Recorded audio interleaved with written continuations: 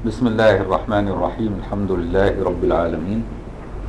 وأشهد أن لا إله إلا الله وأشهد أن سيدنا محمد رسول الله صلى الله عليه وسلم وشرف وكرم وبارك وعظم.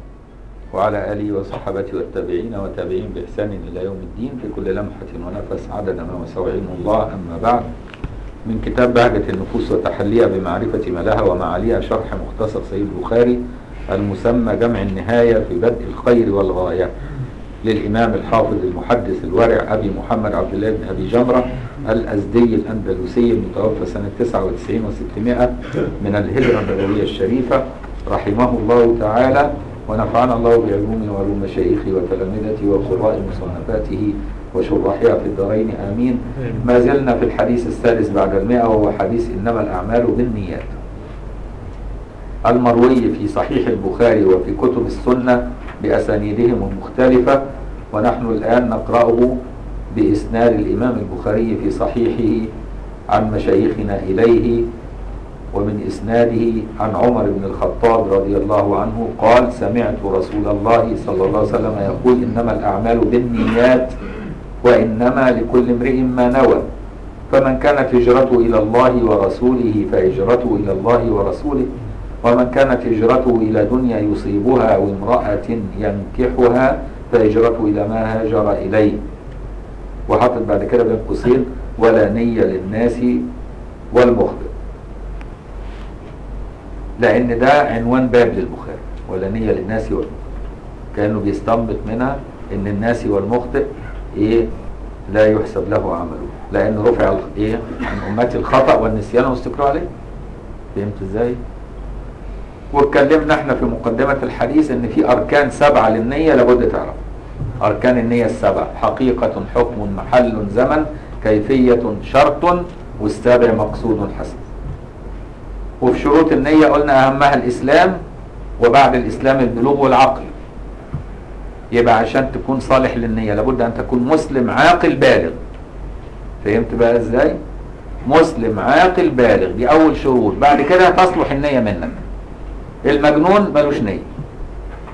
والبالغ ملوش نية. غير البالغ اللي هو الصبي. وإن كان عمله صحيح إلا أنه لا يجزئه عن الفرض لأنه مش واجب عليه. إذا كان مميز عمله صحيح.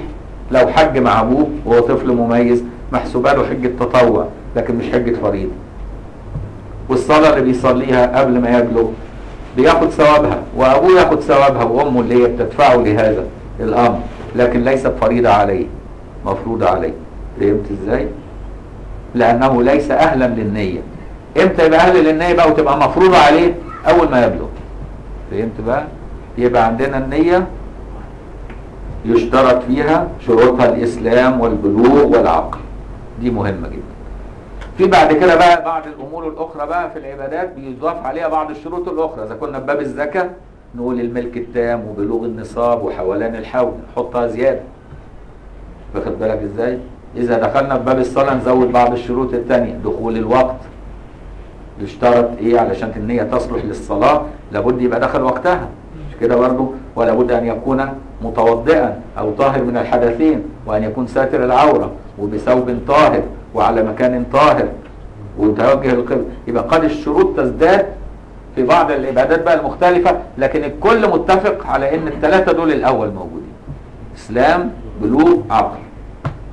بعض الحاجات الثانية يشترط فيها مع ده كله الحرية عشان ما يبقاش رقيق. إذا كان مثلا في الحج. الحج لابد يبقى إيه؟ عشان تسقط عنه حجة الفريضة لابد أن يكون حر.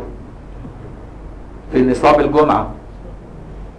عدد اللي بيصلوا جمعة النصاب يشترط معهم أن يكون مقيما حرا. وغير مريض وغير مسافر يعني مقيم وحر ويشترط الذكورة كمان يبقى راجل. لأن نصاب الجمعة لا تتمه النساء لأنها ليست مفروضة عليه وهكذا. يبقى في كل عبادة بقى في تفاصيل. يبقى النية في كل عبادة في تفاصيل زيادة. لكن المهم تعرف إن في ثلاث شروط مستقرة في الكل وهي الإسلام والبلوغ والحرية والعقل والعقل. هنشوف بقى الشيخ هنا بيتكلم بيتكلم على هذا الحديث بطريقة المالكية. يبقى إحنا لما اتكلمنا على الحديث الشروط السبعة دي طريقة الشافعية في فهم حديث إنما الأعمال بالنيات. كويس؟ هنشوف بقى طريقة المالكية في عرض هذا الحديث اللي هو الشيخ أبي جمرة كان مالكيا. فبيقول إيه؟ ظاهر الحديث يدل على أن لكل امرئ ما نوى ومعنى نواه بعمله وأما قولنا في إثر الحديث ولا نية للناس والمخطئ فمعناه لا عمل له يجزئ والكلام عليه من وجوه. منها أن يقال هل هذا على عمومه في كل الأعمال أو هو على الخصوص؟ الظاهر أنه على الخصوص بدليل أن الأعمال على ثلاثة أقسام. أول حاجة قسط نية بلا عمل. في نية بلا عمل. زي إيه؟ الإيمان. الإيمان بالله. ده الإيمان ده في القلب. ما بيظهرش. فهمت إزاي؟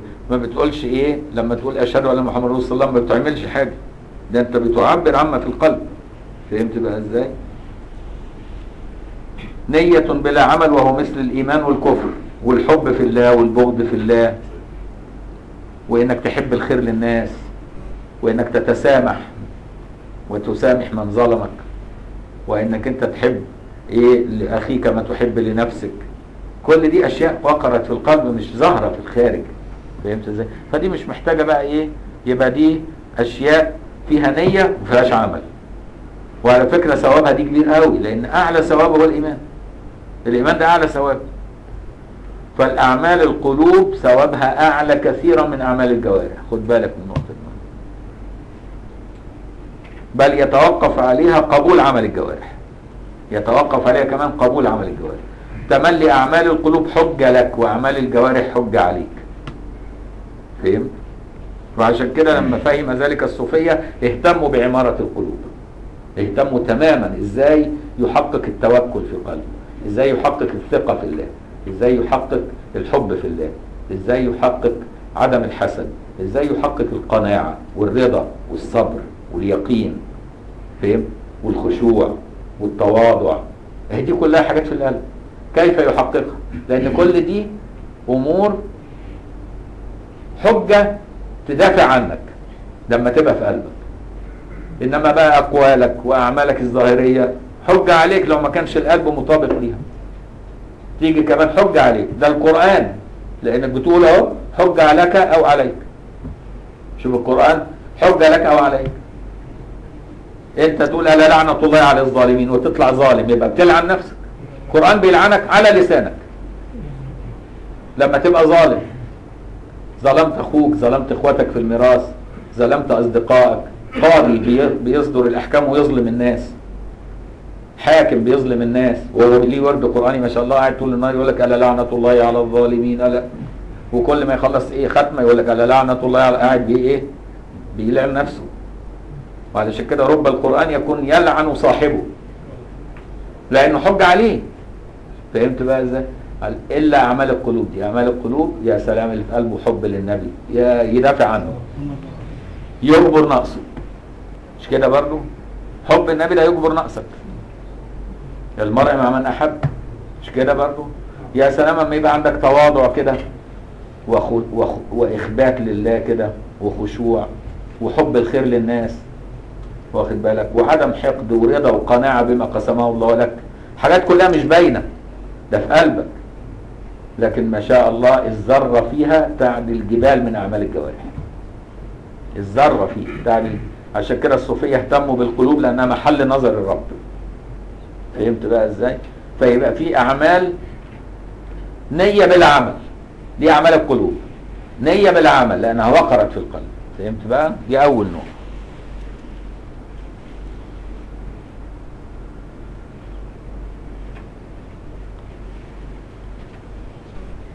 يبقى مثل هذه الأعمال استوت فيها على على النية لا غير. على النية لا غير. مش على العمل. النوع الثاني عمل بلا نية. في أعمال تانية ما تفتكرش للنية بقى. زي ما قلنا لك غسل النجاسة. غسل النجاسة مش محتاج تقول نويت غسل النجاسة. وتغسل بقى أنت بتقول أما بتخش تستنجى استعدادا للوضوء. بتقول نويت الاستنجاء للاستعداد للوضوء. ما تحتاجش. بتعملها على طول كده. فدي أعمال لا تفتقر لنيه عمل وإن كنت تساب عليه لأنك بتستعد للعبادة إلا أنها لا تفتقر لنيه فهمت؟ يبقى وعمل بلا نية مثل غسل النجاسة وغسل الميت لأن المقصود من ذلك الفعل لا غير. وكذلك من الأعمال التي لا تفتقر لنية وتساب عليها اللي إحنا كنا قلنا عليها أي عبادة لا تشتبه بالعادات ولا تشتبه بعبادة أخرى زي مطلق ذكر الله. ما بتقولش نويت أذكر الله. سبحان الله سبحان الله سبحان الله ما تقولش كده. انت على طول تقعد تسبح على طول تكبر على طول تهلل على طول تصلي على النبي على طول تقرأ القرآن. ليه؟ لأنه لا يف... لا يشتبه بإيه؟ بأعمال أخرى ولا بأقوال أخرى. فهمت بقى إزاي؟ يبقى الأعمال التي لا تشتبه بالعادات ولا تشتبه بالايه ب... بأي شيء آخر يعني عبادة صرفة. ليس لها مثيل إيه؟ في العباد في العادات.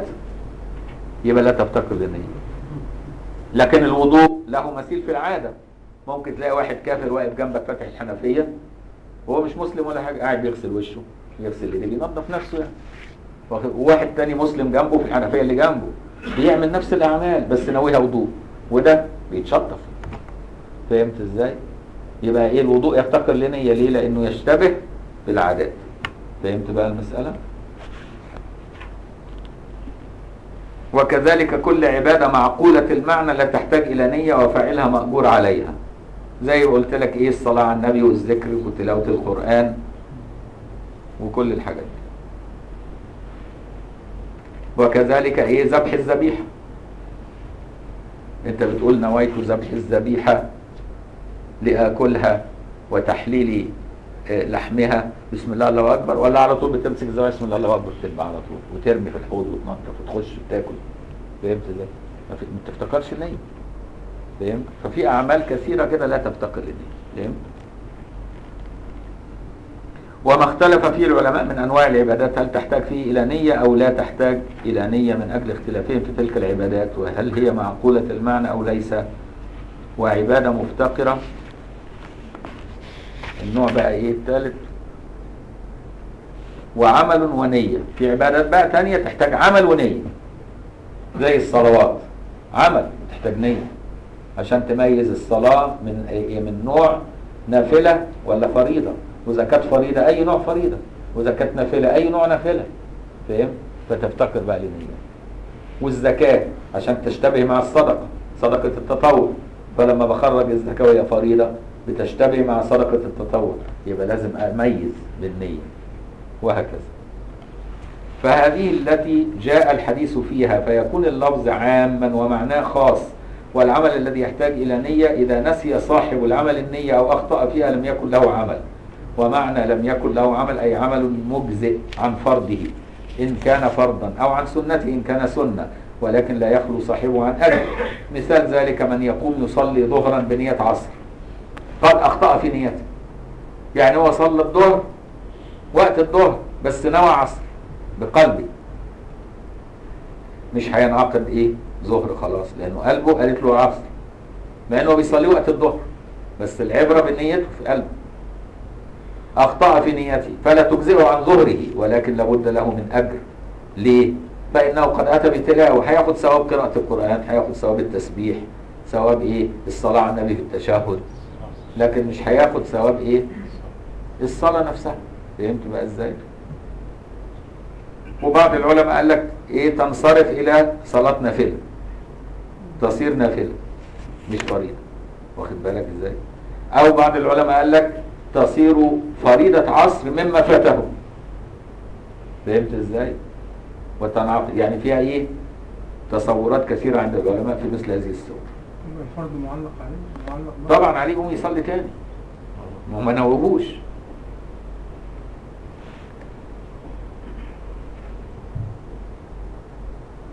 ولكن لابد له من أجر فإنه قد أتى بتلاوة وذكر وركوع وسجود وتسبيح ونوى ذلك وجه الله تعالى اللي هي المقصود الحسن إنك أنت يبقى عملك خالص لله. فاهم؟ وإن كان لا يجزيه عن فرضه فأجر التلاوة إلى غير ذلك لا يضيع له فإن الله عز وجل يقول فمن يعمل مثقال ذرة خيرا يرى ومثال الناس الذي يدخل الصلاة بغير نية فلا تجزيه أيضا عن صلاته يعني دخل كده غافل. الله أكبر. وما نواش حاجة. آه ده ده ده, ده غافل. يبقى مش هتنعقد صلاة. طب واللي واقف ده بيسمع قرآن بيقرأ قرآن هياخد ثواب القرآن ده ما يصليش. صلي فإنك لم تصلي. صلي فإنك لم تصلي. فهمت؟ لأن النية أول ركن من أركان الصلاة النية. مش كده برضو؟ هو ده ما نواش. فيبقى لازم ينوي. والنية وقتها عند تكبيرة الإحرام. يستحضر. هو بيقول الله أكبر صلاة إيه دي بقلبه. والشافعية أجازوا التلفظ باللسان ليعين القلب.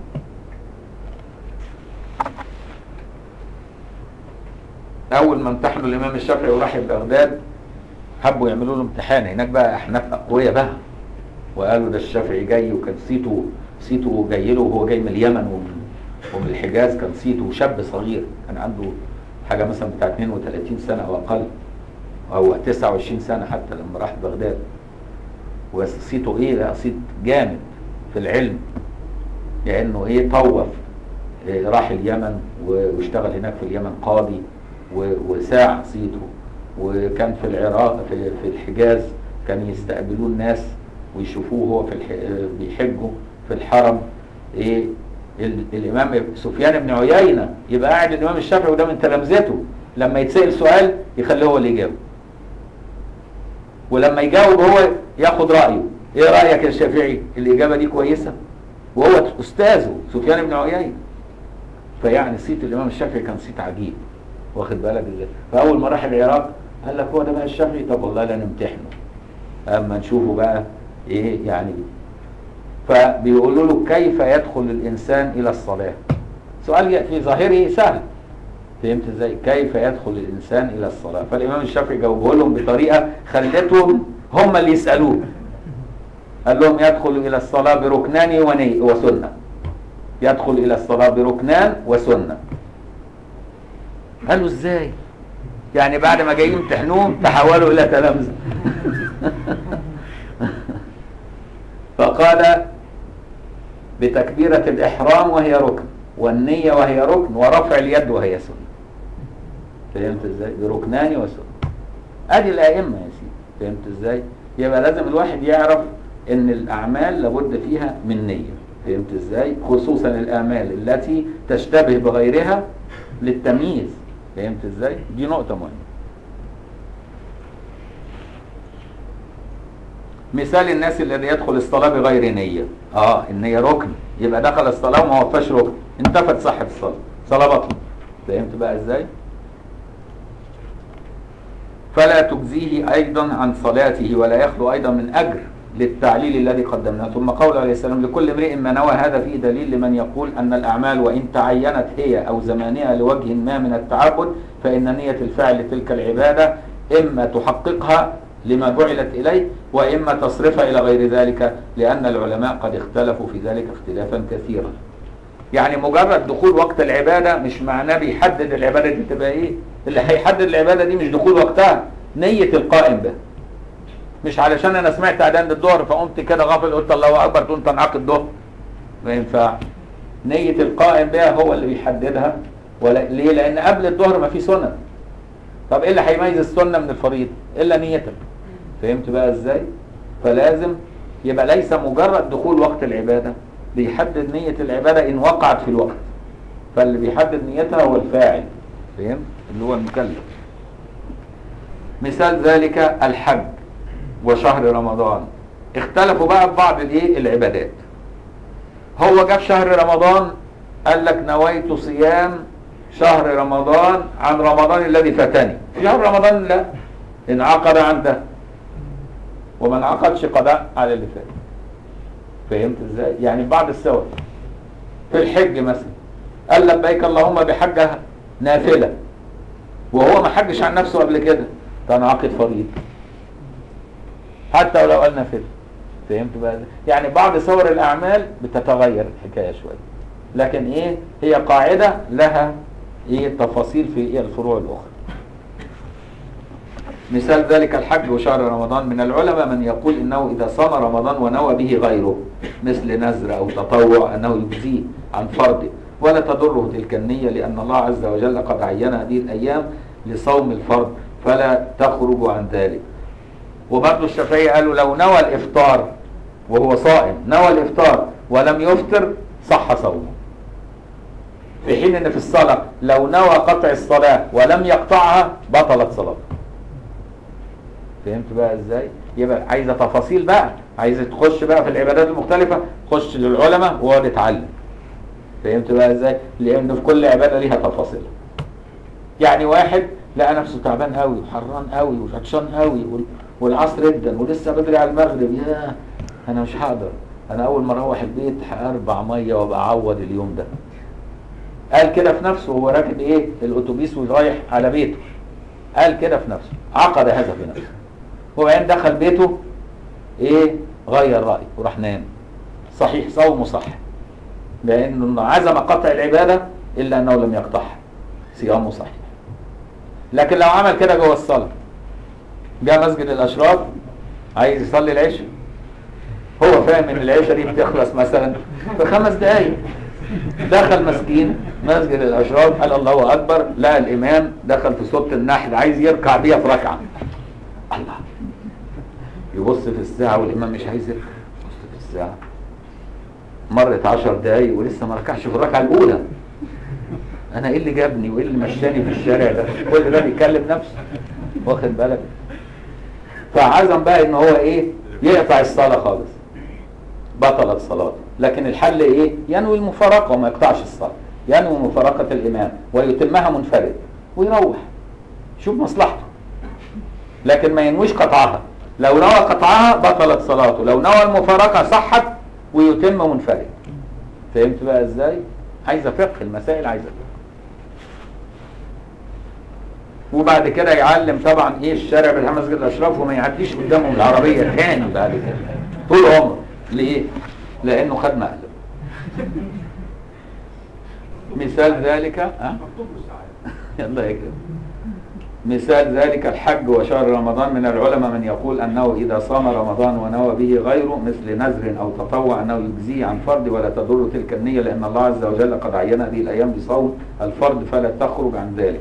وإن أخرجها العبد. وقال آخرون إنها تنتقل بنية الفاعل. ومنهم من قال إن تغيير النية يفسدها ولا تصح فيما نقلها إليه. يعني لو غير نيته يفسدها يعني أنا نويت أنا داخل الناس بتصلي عشاء وداخل بقى مشغول. كنت جاي من العمل وتعبان. نويت صلاة العصر. وهي عشاء. وبعدين بص لقى الإمام بيجهر. قال لي ده عصر إيه ده اللي فيه جهر ده. آه يا ده عشاء كل ده في نفسه. طيب خليها عشاء أهي دي بطل الصلاة مش نافع لا نفع عصر ولا نفع عشاء لأنه غير النية فيها. يبقى الحل إيه؟ يطلع وينوي نية جديدة. حل إيه؟ يطلع وينوي نيه جديدة. لكن ما ينفعش يغيرها جوه الصلاة. فهمت إزاي؟ ما ينفعش يغيرها داخل الصلاة. الشافعيه له تفصيل برضه. قال لك إيه؟ لو انت في النافلة لك أن تغير النية داخل النافلة. لكن في الفريضة لا. لو كانت استدراك يا دكتور يعني أنا لوقة لسان جاي يقول عقد إحنا قلنا القلب العبرة بالقلب واللسان مترجم عن القلب العبرة بالقلب. يعني قال عصر بقلب بلسانه وأي العشاء وأي العشاء بقلبه انعقدت عشاء خلاص وصلاته صحيحه والكلام ده قلناه قبل كده. كويس؟ يبقى بتنعقد بالقلب مش باللسان اللسان يعين القلب. فما في القلب هو اللي إيه؟ بيحدده. في بعض التفاصيل أنا نويت مثلا دخلت مسجد وأذن الظهر الحمد لله. فأنا عارف إن سنة الظهر القبلية أربع ركعات فرحت ناوي أربع ركعات. الله أكبر. وأنا بقرأ التشهد الأوسط لقيتهم بيقيموا الصلاة. يعني في الركعة الثانية بيقيموا الصلاة. يبقى إيه؟ أكمل التشهد وأسلم. فهمت إزاي؟ عشان الحق الصلاة. أغير النية خليها اثنين فهمت إزاي؟ وتنعقد اثنين فهمت بقى المسألة؟ أنا دخلت الجامع وفاهم إن هيقيموا الصلاة بسرعة فقلت أما أصلي اثنين مع إن أنا متعود أصلي أربعة. قلت بس أصلي اثنين عشان ما, ما يقيموش الصلاة.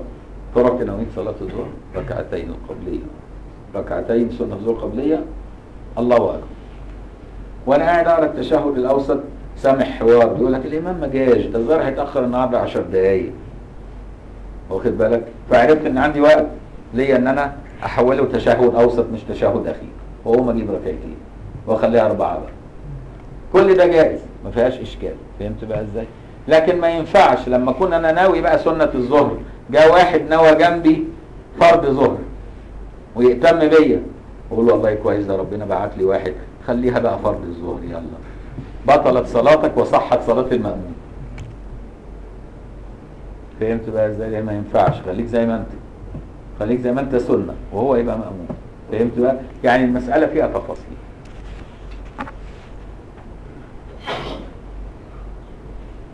ومثل ذلك قالوا في الحج وهذا الحديث يقوي قول من يقول أنه ينقلب بالنية لقول عليه الصلاة والسلام لكل امرئ ما نوى. وفي مذهب مالك في ذلك ثلاث أقوال. القول الأول أنه يجزئ عن الفرد ولا يجزئ عن غيره وبالعكس يعني لا يجزئ عن الإيه؟ لا عن الفرد ولا غيره. والقول الثالث والمشهور أنه لا يجزئ عن واحد منهما وهنا بحث. وهو هل النية مطلوبة في جميع أجزاء العمل؟ يعني في كل ركعة في الصلاة محتاج النية؟ ولا يكفيني في أوله؟ فهمت إزاي؟ هو يكفي في الأول وبتنسحب على الباقي. كويس؟ ومنهم من يقول إنما هي مطلوبة عند استفتاح العمل لكن الذين يقولون بهذا يقولون أن استصحابها في كل الأركان شرط كمال وهو مستحب ودار الأمر على أن أوله متفق على وجوبها فيه. وباقيه قيل واجب وقيل مستحب وفيه إشارة إلى تفضيل طريق أهل السلوك لأنهم يتمون اعمالهم بحسن نيتهم. كما قد تقدم في غير ما حديث يؤخذ ذلك من قول عليه الصلاة والسلام لكل امرئ ما نوى لأن فتح باب الزيادة في العمل برفع النية فيه فمغب نفسه بسوء نيته ومربح لها بحسن نيته. ومثال ذلك شخصان يتبحثان في مسألة فقهية. ونية الواحد بيان حكم الله وطلب الصواب فيه إيمانا واحتسابا. ولا يبالي من الذي جاء بالحق فيهما. هو أو صاحبه. فهذا قد رفع عمله بحسن نيته. يعني اثنين بيتناقشوا في مسألة فقهية. واحد فيهم هدفه الوصول للحق ولو كان على لسان صاحبه. مش مهم يبقى هو يبقى ده نيته خلت مناقشته عالية. الثاني بيناقش الثاني وناوي إن هو إيه؟ يغلبه ويبين له إن هو مخطئ. فهمت إزاي؟ يبقى الثاني دن عمله بنيته والآخر رفع عمله بنيته فهمت بقى إزاي؟ لأن الثاني على الغلبة والثاني هدفه الحق وليس الغلبة. فهذا قد رفع عمله بحسن نيته لأن هذا أعلى المراتب ويدخل في حد الربانيين الذين هم ورثة الأنبياء عليهم السلام. وعشان كده الإمام الشافعي كان يقول ما نظرت أحدا إلا وتمنيت أن يكون الحق معه لأزداد علما. أما لو كان الحق معي فأنا لم أزداد شيئا ما أنا جاي جاهز بيه. شوف بقى الإمام الشافعي كان رباني إزاي؟ يقول ما نظرت أحدا إلا وتمنيت أن الحق معه لأزداد علما. عشان كده لحد دلوقتي علمه ربنا بارك فيه. لحد دلوقتي إلى يوم القيامة الناس هتبدا تتعلم علوم هذه المذاهب فهم؟ ببركة نواياهم.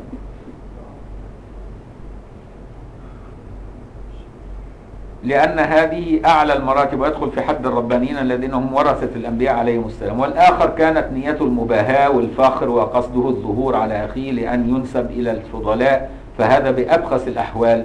وإن ظهر على أخيه وإن ارتفعت منزلته في الدنيا لأنه أول ما تسعر به النار يوم القيامة فإن رسول الله صلى الله عليه وسلم قال أول ما تسعر النار بثلاث وعد فيهم العالم الذي هذه صفته لأنه يقول يا رب تعلمت فيك وعلمت فيك فيقول الله له كذبت وتقول الملائكة له كذبت إنما فعلت ذلك ليقال فقد قيل فيؤمر به إلى النار وليس هذا في العلم وحده بل ذلك في جميع أعمال البر. وإنما ذكرنا العلم لأنه صلى الله عليه وسلم قال أعمال البر والجهاد في العلم كبسقة في بحر. يعني لما تقارن كل أعمال الإيمان وتقارنها بالعلم العلم الرباني كبسقة في بحر. فإذا كان ذلك في الأعلى فمن باب الأحرى في غيره. ونقف على البحث اللي هو إيه متعلق بهذا الحديث غدا إن شاء الله لأننا أطلنا يعني. سبحانك اللهم وبحمدك نشهد أن لا إله إلا أنت نستغفرك ونتوب إليك. وصل اللهم وسلم وبارك على سيدنا محمد وعلى آله وصحبه أجمعين. اللي نام واستيقظ لا يجب عليه الاستنجاء قبل الوضوء. فهمت إزاي؟ ليس منا من استنجى من ريح. حتى لو طلع ريح لا يستنجي من ريح. لكن يجب الاستنجاء عند خروج النجاسة. وهواء النجاسة طاهر. اللي هو الريح ده هواء النجاسة طاهر. لا يحتاج إنك أنت تغسل الثوب منه لأنه تعرض لهواء النجاسة.